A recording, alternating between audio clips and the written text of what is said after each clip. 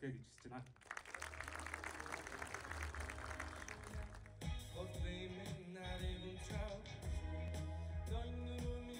Нартай хамтарч ажиллаж энэ амжилтыг гаргасан байна. Энийг ингээ хийчих. Яагаад тэгэхээр тэр улсад энэ амжилттай байна гэдэг байсан бол төсөл маань өнгөрсөн оны 2021 оны 9 сард анх лонч хийгдсэн.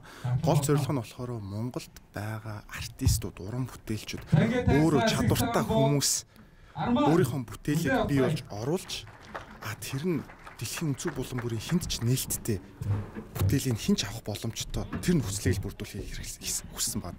Мета Улаанбаатарыг бид нар бий болгосноор энэ нь яг л өнөөдөр бидний бодит амьдрал шиг энэ Мета Улаанбаатар дээр бид нар өөрсдийн музей, өөрсдийн тоглолт, үзэсгэлэн худалдаа, тоглоом, тоглолт гих мэтчлэн бүгдийг бий болгож тэр нь өнөөдөр зөвхөн Монголдо хэдүүлээ хязгаарлахгүй дэлхийн 300 сая хүн энэ metaverse дээр байгаа. Тэд нар шууд ороод Монголын наадмыг үзэх боломжтой болно гэсэн. Монголын цагаан сарыг үзэх боломжтой. Монголын нэг үзэсгэлэн тоглолт бүгднийг үзэх боломжийг бид бүрдүүлж байна гэсэн. А тэрийг хэл гэсэн. Тэгээд яг технологийн ажлууд гэх юм бол тэгээд өөр л да. Одоо жишээлбэл за хамгийн том ивент Ethereum network-ийн жил жилдээ хийдэг. Тэрэн дээр болохоор metaverse дээр байгаа ер нь эдийн засгийг та ер нь цаашдаа яаж хөгжин ямар хөө санагдаж байгаа. За яагаад тэгэхээр та бүхний мэдж байгаа ачлан Хятад улс бол 21 оны 4 5 болон олон улсын технологийн компаниудтай хамтарсан хөгжүүлэлтүүд хийгдэж байгаа юм байна. За тэгээд оролцсон уран бүтээлчдээ баярлалаа гэдэг үгээрээ халаалгад ишлэлээр бас баярлалаа. Шалгаруулах болно. Энэ хүн бүтээлүүдийг шалгаруулахаас өмнө бас мэддэгдэл өрөөх ёстой. Мөнхөдийн гамбат Бэргэл анх хоёр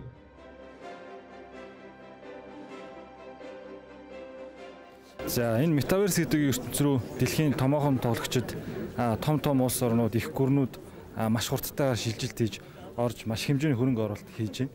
За мэдээж Америкийн нэгдсэн улс бол хамгийн голлох тоглогч байгаа. За үүн дээр нэмээд бүгд найрамд хятад ард улс хэдийгээр крипто зах зээлийг бүтэн хоригдсан ч гэсэн метаверс зах зээлийг бол хөгжүүлье гэдэг ийм шийдвэрийг гаргаад явж байгаа. Аа тэгээд бүгд найрамд хятад ард улсын хамгийн том технологийн гигант компаниуд Tencent, Alibaba-аас эхлээд маш том том хөрөнгө оруулалт хийж байгаа. Тэгээд ирээдүйд энэ зах зээл бол нийтдээ 8 тэрлион долларын зах зээл болно гэсэн ийм тооцоолууд байгаа. Тэгэхээр энэ бол ирээдүйдээ маш том ертөнц болно гэдэг нь тодорхой байгаа учраас манай Монгол улс ингээд үүн дээр хоцорлоггүйгээр өөрийн Улаанбаатар хотоо байгуулад орж байгаа нь бол ирээдүйд маш амжилттай болох боломжтой гэж бодож байна.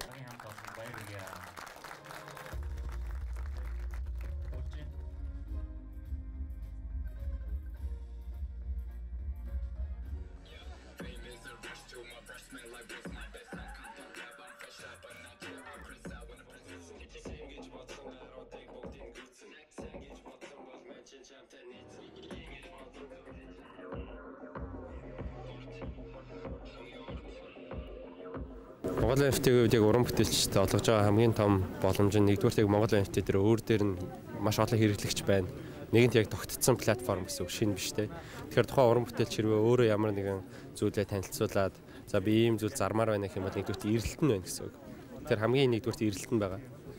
Хоёр дахь юм энэ NFT гэдэг юм уран бүтээлчд хамгийн гол ямар боломж олгоод байна гэхээр санхүүгийн хувьд дэмжлэг болно гэсэн үг. Тэгээд дээрэс нь хоёр дахь хамгийн чухал зүйл нь тэр оюуны өмч гэдэг зүйлийг тэр блокчейн систем дээр баталгаажуулж авч байгаа гэсэн үг. Тэгэхээр тэр хүн заавал хуульчтай ч юм уу заавал одоо уран бүтээлчтэй хувьд ингээл миний дуу нэг караоке тоглож идэг нэг газар явуулчлаа тэгээд айгу асуудал үүсдэг шүү дээ. Тэр тэр асуудал бол яг NFT-гээр дамжуулж тэр асуудал бүрэн дүрэн шийдэгдэж байгаа гэж ойлгож байна гэсэн. Оролцсон бүх хүмүүс өөрсдөө маш их бахарх хэрэгтэй guys. Энэ бол агуу шүү. Улаанбаатар хотыг бүтээх анхны тэмцээнд ур чадвар авиас бэлэг уралдааны ажилдаа орсон та бүхэн баяр хүргэе.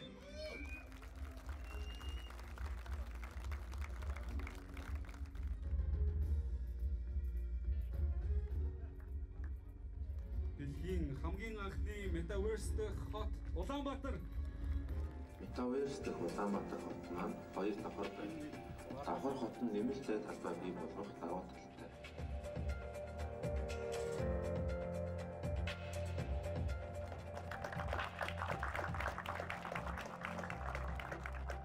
хүний үүсэл их түүхээс л эхэлдэг. Тэгтээ ихтэй бид нэр түүхээ мартаж болохгүй. А бид нэр түүхээ болон орчин үе одоо байгаатай нийлүүлэн нэг цогц болохыг л хичээсэн.